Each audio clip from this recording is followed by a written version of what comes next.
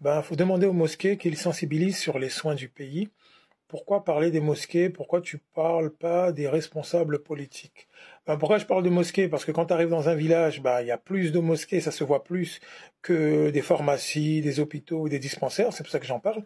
Et que sur ma page, je parle de tout. Pourquoi je parle pas des responsables politiques? Parce que moi, je m'attaque pas aux personnes de manière générale.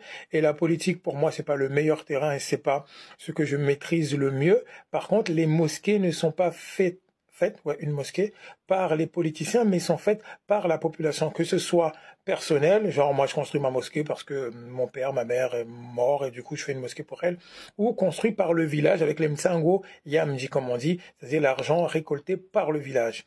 Pourquoi j'en parle? Parce que cette, ce même argent qu'on récolte dans les villages, il pourrait servir à faire autre chose, comme les routes par exemple des villages qu'on fait avec cet argent, installer des, des lampadaires. Et pourquoi pas acheter une ambulance, construire un hôpital, faire une pharmacie, c'est pour ça que je parle des mosquées. Mais la question que j'ai envie de te poser, mon frère ou ma soeur, je vois pas si tu un homme ou une femme, pourquoi on ne pourrait pas parler des mosquées? Pourquoi parler des mosquées était un sujet sensible?